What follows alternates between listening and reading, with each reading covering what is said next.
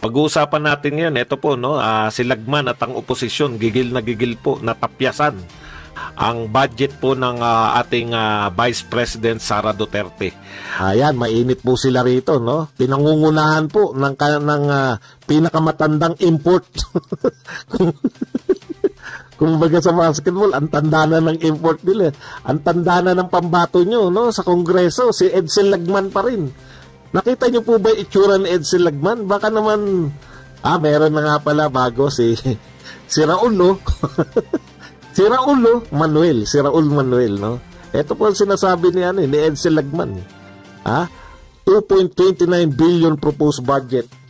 Ah, 258% higher than the average OBP budget. Antindi.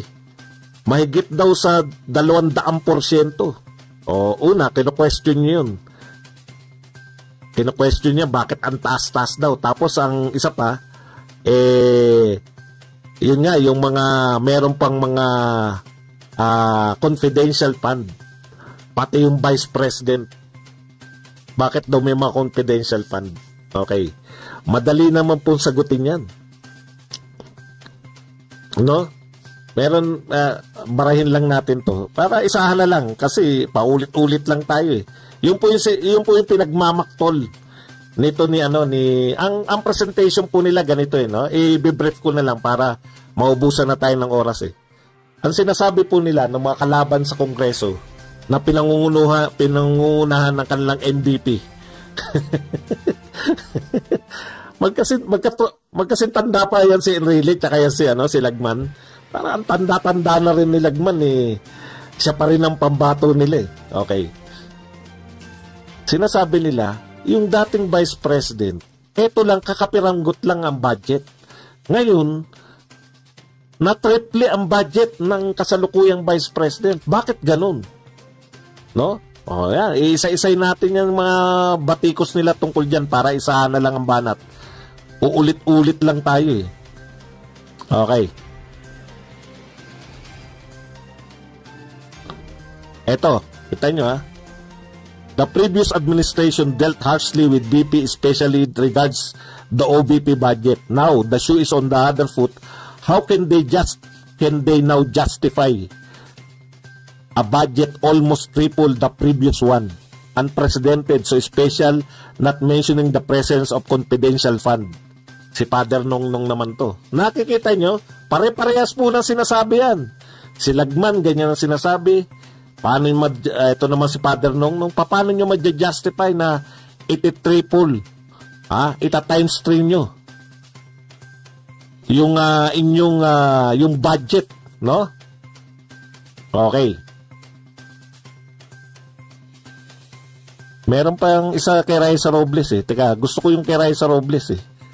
Wala, hindi ko na makita. Okay, ganito yan. Eh. Justify. Paano justify Uh, ito, magre-real talk po ako ha. Ang sagot niya ni Sara sa kanilang lahat ganito.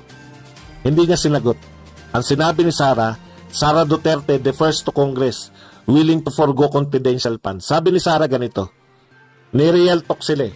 O sige, kung para makatipid, para sa magiging makabayan, na ito yung sinabi ni Sara Duterte. Hiling siyang patapyas yung budget ng na, ng uh, ah, OBP. Kung gugustuhin ng Kongreso.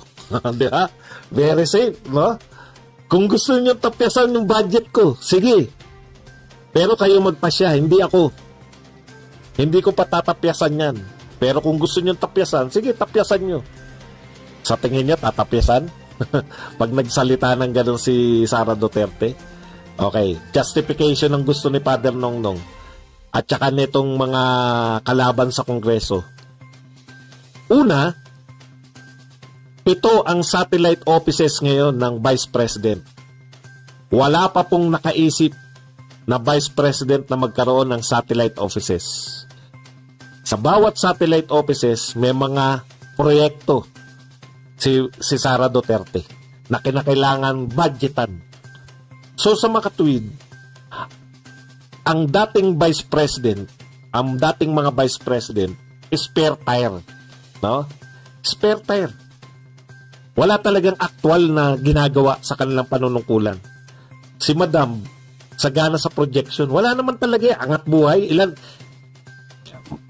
mag, mag, pag-reportin yung angat buhay, ilan ang kanilang natulungan? Magkano ang kanilang uh, na, donasyon? At ilan na natulungan ng donasyon? Makikita nyo na, no? Una po yun, no? Yan po, yung, uh, hindi, dinideliberate po eh. Ano na po ngayon? yun na lang, yung pitong, pitong satellite offices sa iba't ibang bansa. Wala po nakagawang vice president yan. Angat na angat po talaga si, si Sara Duterte sa kanilang lahat. As in lahat ha, lahat na naging vice president, wala po nakaisip no? Na mag na magkaroon ng satellite offices. So bawat satellite offices mayroong ano, mayroong uh, uh, budget. Merong mga kaya tinayo yan para makatulong. May totoo, mga burial, tapos may project pa si Inday, tulungan yung mga negosyanteng maliliit. Totoo po yung mga proyekto ni Inday Sara Duterte. Eh ayaw nga eh. Ayaw nga iparinig sa inyo. Kaya nga dito lang kayo makakakuha sa mga ano, ayaw nga iparinig sa inyo ng press. Ang gusto nila, yung mga kalutangan ni Lenny. Yung wala pa nagagawa, eh nire-report na. Ikalawa, yun yung una, di ba? May totoong mga tinatrabaho si Sara Duterte. Katunayan, pito ang kanyang uh, satellite offices. Ikalawa, bakit ano ang justification? Alam nyo kung ano justification? Future president yan. Yung mga congressman at mga senador, alam nila yan. Eh, teka muna. Baka tanungin ni ano, baka itanong ni Father Nongnong. Eh, teka muna, si Lenny rin ah, naging vice president. Bakit hindi nila nilakayan? Opo, Si Lenny po naging vice president at si Lenny po, una, wala namang proyektong totoo yun. Kaya okay na sa kanya yung maliit na budget. Di ba? Tuwan-tuwa na nga yun, ting budget theory.